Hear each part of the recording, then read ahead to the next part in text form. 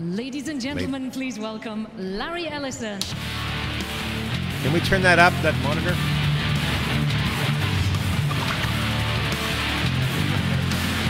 Hi, everybody.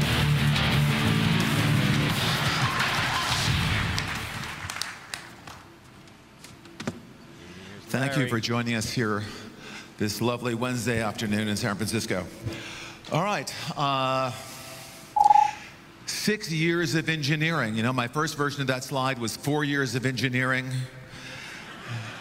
Then I changed it to, so it took a little longer than we had planned, but it was a huge, huge engineering project to build a complete and integrated suite I'm gonna H, uh, the, uh, ERP, human capital management, CRM, all the different pieces built on top of modern technology, rebuilt on top of modern technology. Complete, integrated, and finally here. Next slide. And it is a gigantic, it was a gigantic effort. Accounting, what used to be called human resources, human capital management, supply chain, projects, procurement, CRM, governance, risk, compliance. Next slide, over a hundred separate computer programs, over a hundred separate products, all rewritten, all rewritten on top of modern technology. window. Pull up a Twitter It was, it took us six years, but I think it was worth the wait. Next slide.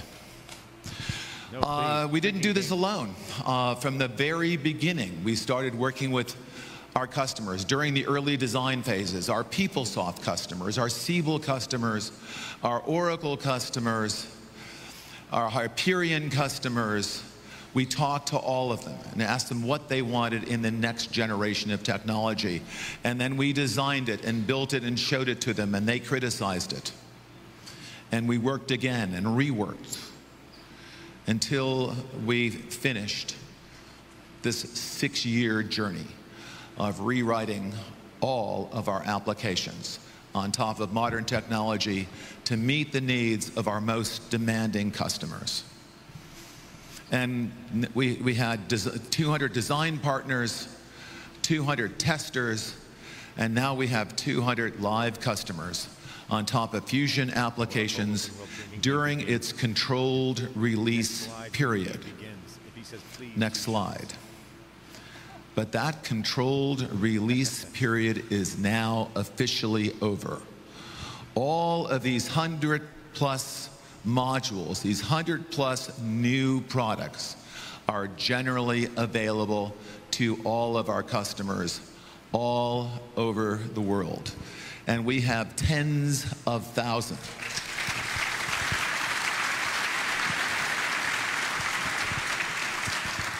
I'd like to thank all of our application teams for designing a great product, building a great product, and sticking with it until you're finished. Of course, you're never really finished. There's going to be another version, another version, another version. But now we're delivering it to our customers. Human capital management, ERP, CRM, all those pieces are here today. Next slide. I'd like to go back six years to the very beginning of the project and review for all of us some of the design goals we had for Fusion. Why did we rewrite PeopleSoft and Siebel and Hyperion and the Oracle e-business suite on top of modern technology? It was a huge effort. It took a lot of engineers a very long time to do this. Why did we do it? Why did we do it? What, what was wrong with Oracle, you know, or, Oracle e-business suite or PeopleSoft? I mean, they're a good product. They were market-leading products. They are market-leading products, and we continue to invest in them today, and we'll continue to invest in them tomorrow. But we felt we had to move to a new generation, the next generation of technology, for very specific reasons. First, first, we needed applications that were designed not to run just on premise in your data center, but we needed to design applications that also ran in the cloud. Now, six years ago, it wasn't called the cloud. The term cloud was actually popularized by Amazon.com's uh, EC2. It's the Amazon.com's Elastic Compute Cloud. They kind of invented and popularized the term. But before there was the cloud, there was SaaS. NetSuite, Salesforce.com, those guys. So what we really said, what the original slide really looked like, it was designed to run as a service on the internet, SaaS, and on premise. But the new popular term today is cloud. So designed to run in the cloud and on premise. That meant we had to rebuild, redesign, and rebuild our applications. Next, we wanted to build our applications on top of industry standard middleware using industry standard languages. No one had ever done this before. SAP to this day uses ABAP. A more modern system, Salesforce.com, uses Apex. We thought that was a huge mistake. PeopleSoft used People Tools. We used in eBusiness Suite something called Oracle Forms.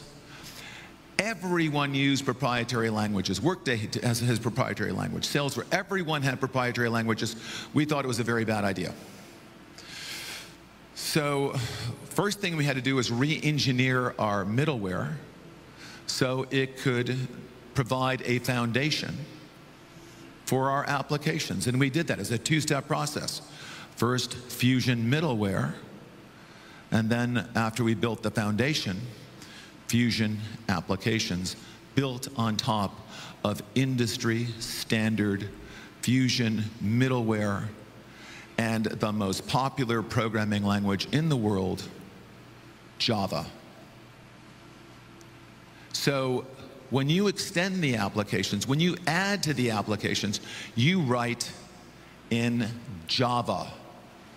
When you link up your application, you know, uh, uh, uh, uh, this application to one of the applications you, you built, you use BPEL, another standard way of interconnecting the pieces because we have a service-oriented architecture, a modern service-oriented architecture.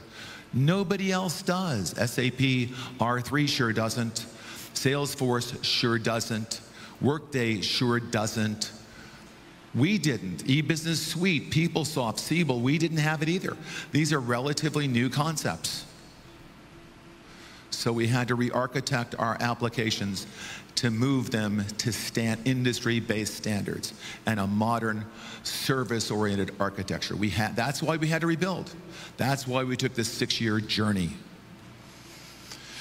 Next thing, security, as if we're gonna run this thing in the cloud, across the public internet, this thing has got to be much more secure than it ever was when it was running in your data center behind your firewalls. It's got to be much more secure. Now, everyone up until now had built their security into the applications. By the way, the eBusiness Suite security built into the eBusiness Suite. Siebel security built into Siebel. Salesforce.com security built into their application. SAP security built into the SAP application. We did not want to use application level security. We did not want to rely on each and every person writing application code to guarantee that your data and data center and applications were secure. We wanted security to be a part of the underlying infrastructure. So when you built the application, it was guaranteed to be secure because the infrastructure was secure. So we didn't put security into Fusion applications. We upgraded the infrastructure so that the security is built into the virtual machine and the operating system and the middleware and the database and anything built on top of that infrastructure is secure. Whether we build the application, our application development teams build it, or you make extensions. It's secure because the underlying technology is secure, especially important in the world of the cloud and the public internet.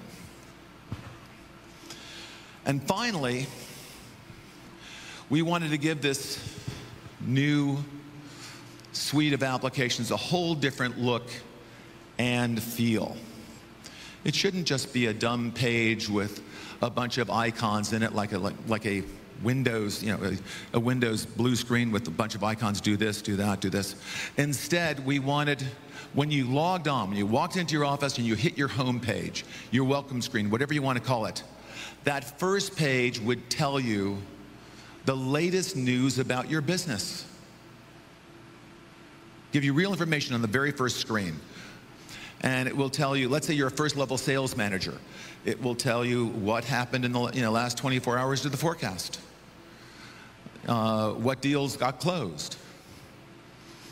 Did, uh, what deals fell out of the forecast? How all, if you're a first line sales manager, how are all your direct reports doing? How are they doing? Uh, you know, how much did they sold versus what is their quota in the quarter? You get that information right on your first page. Plus, that's what do you need to know? What do you need to know right on your first page? Also on your first page is a list of tasks. What do you need to do? So and so needs to get, a, get an unusually large discount approved. Do you want to approve it or not? Uh, one of your managers wants to hire this sales consultant please sign their offer letter. So and so is requested to go on vacation for this two week period. So, two weeks before the end of the quarter. Do you want to approve it or not? Mark's shaking his head no. Well. So, right away, the, the, your first page tells you the latest business, what do you need to know, latest news about your, you, your job, and what do you need to do, a complete task list a very different UI than we had in eBusiness Suite or Siebel or, or for that much what, what SAP has or what Salesforce has. Next slide.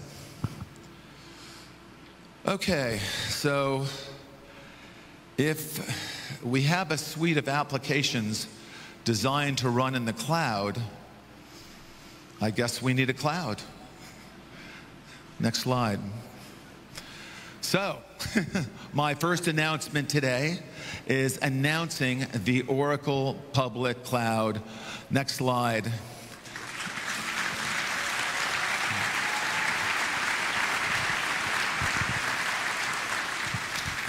When you need a cloud, you just need a cloud. Everyone's got a cloud, we need a cloud. Okay. So our cloud's a little bit different. Our cloud's a little bit different. On the lowest level, it, it's both a platform, it's both platform as a service and applications as a service. It is both.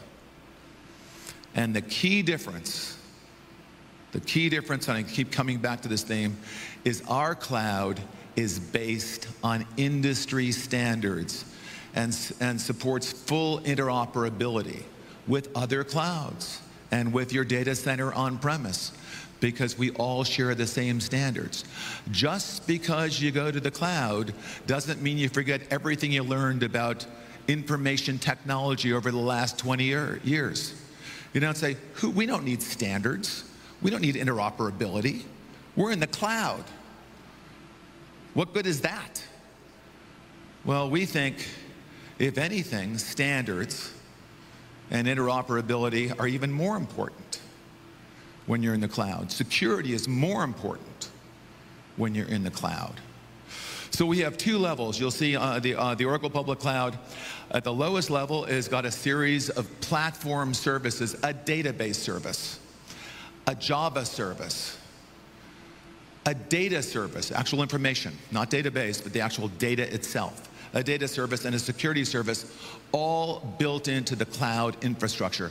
And then on top of that foundation, we put our Fusion applications, or you put your custom applications or your extensions to our Fusion applications, all built using the underlying platform services, the underlying standards-based platform services. Next slide.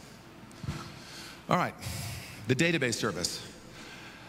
You can take any existing Oracle database that you have and move it to our cloud because the database service in the cloud is like the database service in your data center.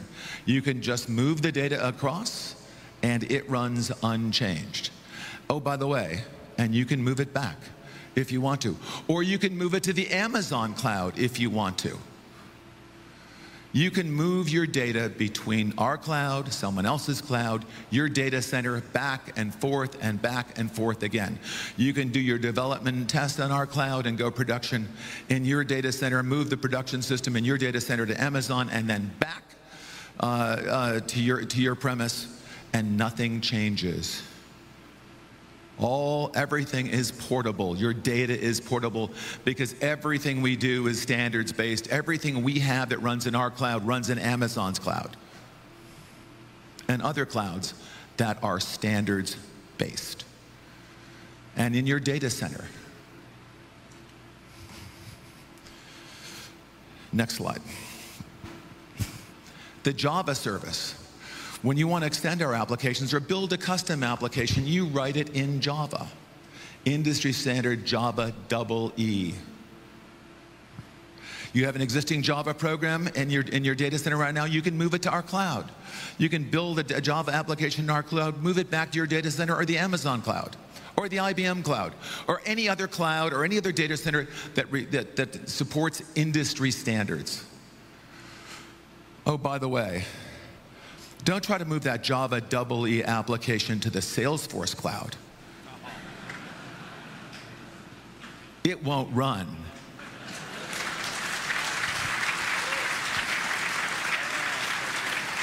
And don't, though they say, oh, we have Heroku. We just bought Heroku.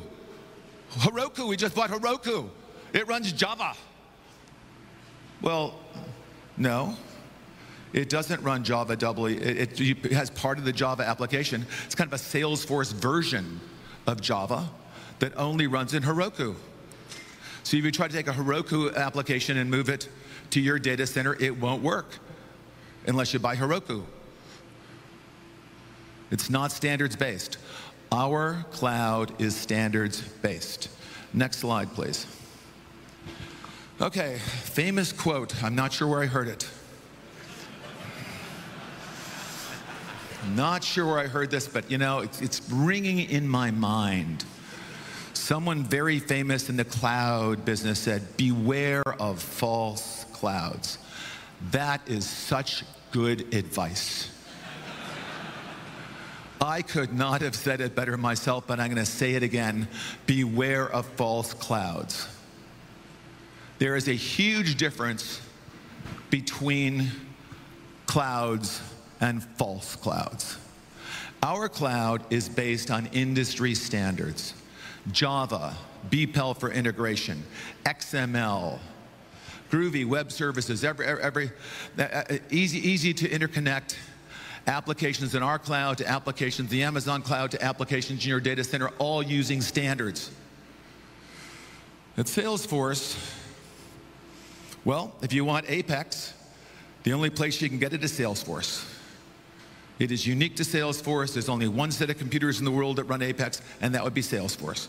You want to build your applications in Apex, you better run them in Salesforce forever, because that's the only place you can run them. Heroku is not industry standard Java. If you build something in Heroku, you can't move it. It's not a Java EE compliant application. It's a, it's a derivative of Java. Force.com, you're write in Apex. Again, all of this stuff is non-standard. All of this stuff is, is, is unique to Salesforce.com. It only exists in one place, in Salesforce.com. Now, if you don't care, fine. But understand, you're committing yourself to life to run that application at salesforce.com because it doesn't run anyplace else. You can't move it anyplace else. You can abandon it you can write it and say, oops, you know, I just give up, but you can't run it anyplace else ever. And you can't build things in your data center and move them to Salesforce.com. That doesn't work either. You're not happy with Salesforce.com, you can't move to Amazon. You can't do anything. You know, Salesforce.com cloud is kind of, you know, kind of sticky. You know, it's kind of the ultimate vendor lock in. You can check in, but you can't check out.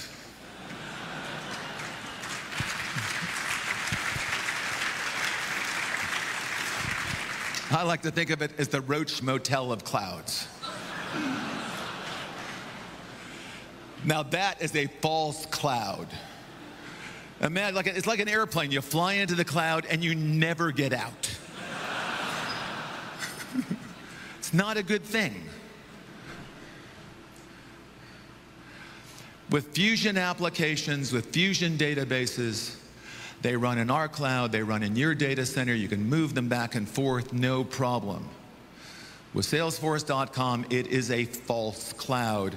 It's good, it's good for Salesforce, not necessarily good for you.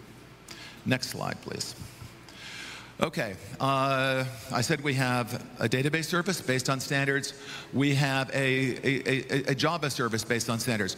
We also subscribe to lots of data. You can, as I said in the first thing, you can, you can load your data into our cloud, move it from your data center here. Uh, but we also subscribe to a lot of useful data that you might want to use in our cloud, like the Dun & Bradstreet data or census data. Uh, you know, data extracted from a, a, number of social networks. Uh, lead, lead information. We, we're, we're going to populate our cloud with a lot of useful data for our customers. So you don't have to go out and make lots and lots of separate deals to subscribe to this data. You'll be able to repurchase this data from us or resubscribe to this database right on our public cloud and feed that data into your applications, whether they're Oracle Fusion applications or applications you wrote yourself the data service on the public cloud. Next slide. Uh, it's a monthly subscription. You go to the Oracle store, you sign up, you can use your credit card. Within minutes of signing up, it's instantly provisioned, instantly provisioned, and you're up and running with a database, with the ability to write Java programs, uh, you know, uh, with, the, uh, with the ability to run Fusion applications. Very important aspect about our public cloud. It's elastic. Ela Amazon thought elastic was so important, such an important characteristic of the cloud, they put it into their name.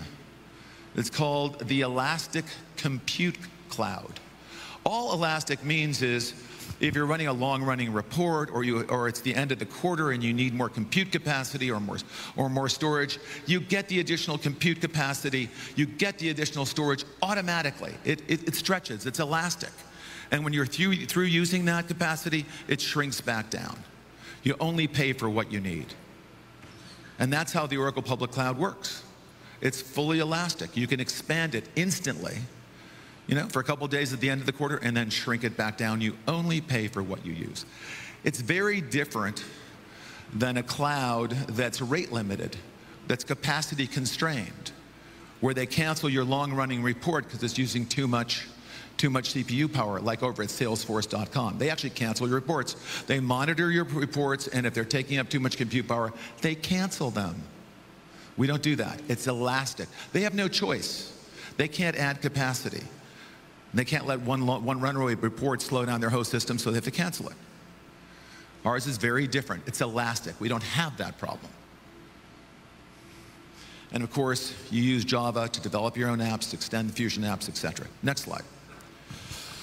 Okay, uh, the Fusion Suite is very unusual. It's a complete and integrated suite of applications, and it runs both on uh, cloud and on-premise. Uh, if you go, you know, SAP, our biggest application competitor, has a large suite of applications called R3. It's had several names, but still basically R3. Uh, and it really is designed only to run on-premise, like Siebel or uh, some of Siebel stuff, uh, uh, and e more like e-business suite and PeopleSoft. Now, there are a bunch of new cloud companies that do route, you can buy software as a service over the internet, like Salesforce.com and Workday for human resources or human capital management, Taleo for talent management, but these are siloed, separate applications. Fusion apps are the first complete and integrated suite to run in the cloud. First one. Took us a while, six years, a big job. And of course, the same exact code, the same exact code runs on premise. So if you're doing a, again, you're doing an implementation, you can, you can do your test, your development test in our cloud, and then when you're ready to go production, you can move it back uh, to your data center if you want to, or leave it in our cloud. Your choice. Next slide. But you have a choice. The key thing is you have a choice, and I'm pro choice.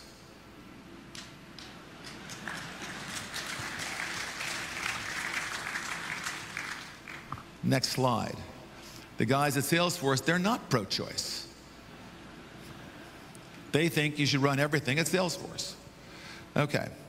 Uh, service oriented architecture. So when you connect the Fusion applications, you can have some, by the way, you can have some of the Fusion applications, you can have CRM or your Asian, Asia Pac CRM or pieces of, of the stuff in the cloud. You can have others, other stuff on premise. It's all linked together using industry standards like BPEL. It's all, there's all, it's, they're all web, everything's web service. Everything is a web service. Very easy to connect these things with each other, cloud to on premise, Fusion applications to your custom applications. Very easy to interconnect all this stuff using standards. Salesforce doesn't have any of that stuff. Everything they have for linkage is proprietary, force.com. Write a custom program in Apex and we're uh, rock and roll, let's go. Everything's write a custom program in Apex. Next slide, please.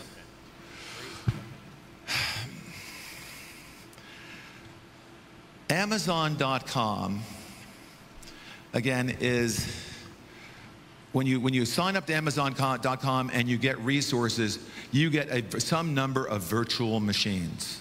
That's how we allocate capacity. Certain amount of disk space, virtual machines, and you, your applications, and your data run in your personal or your company's personal, isolated, in the best sense of the word isolated, virtual machine. Salesforce has a different idea. They say, why don't we put everyone's data and put it in the same database? We wrote the database. We think that's a really bad idea. Unless it's actually good if you want to look at your competitors' leads or something like that. That's a very bad security model to put everyone's data in the same database. It's called multi tenancy, and it was the state of the art 15 years ago when they started. I mean, it really was the best we could do 15 years ago. I have no problem with them starting with multi tenancy. It was a good idea 15 years ago. This is 2011. All the compute clouds, all the modern compute clouds are virtualized, use virtualization as part of their security model. We give you a separate virtual machine. Your data is in a separate database. Your data is secure. You get capacity on demand because you're virtualized. They don't have any of that. They put your data at risk by commingling it with your competitors' data.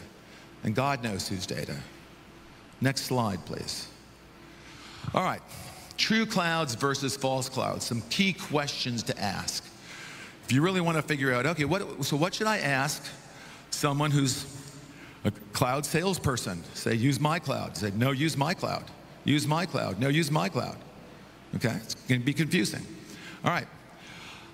Simple question. If I write an application in your cloud, can I move it to another cloud? If I move, write an application in, in the Salesforce cloud, can I move it to Amazon? If you write it in Oracle, you can move it to Amazon, you move it on premise and back. You write it in Salesforce, Roach Motel of Clouds. Virtualization. Is my data just kind of mixed up, smushed together with everyone else's data in the same, in one or a big Oracle database with everybody, including my competitors? Yep. Is that a problem? Works for us. We like it because we have to buy less database. It's a really bad idea. We keep your data secure, your applications separate in your own virtual machine. So is your data safely stored in a secure separate database and a separate virtual machine? Oracle, yes. Salesforce, uh-uh. And finally, is if I need if I need additional capacity, if I need additional capacity, uh, do I just get it automatically? Does you know, it, uh, or, or do you cancel my work? With Oracle, with the Oracle Public Cloud, you get elastic capacity on demand. Whatever, whatever you need, you get automatically. When you're through using it, it shrinks. You only pay for what you use. In Salesforce, you use too much capacity, we're going to kick you off the machine. True cloud, false cloud, you decide. Next slide. Okay, back to our original design goals, specifically the last design goal. Remember, this is, these design goals are six years old. And we said we want to build a modern user, user interface with business intelligence and analytics, business intelligence and analytics built in, not added on. So again, if you're, if you're a sales manager, on the very first screen you see the current state of the forecast, what's been sold, what's, you know, how, how your direct reports are doing, what the, how, how the pipeline looks. You get all of that data right on your screen and a list of tasks. What do you need to know? What do you need to do? We still think that's right. It was six years ago, but things have changed. Next slide, please. Over, over the last six years, social networking has been a critical new technology in redefining on the, the way people interact with computers and interact with each other. And we think this has huge implication on how we build modern applications. Next slide. So, we built a social network. My second announcement of the day, additional to the Oracle Public Cloud, we're announcing the Oracle Social Network.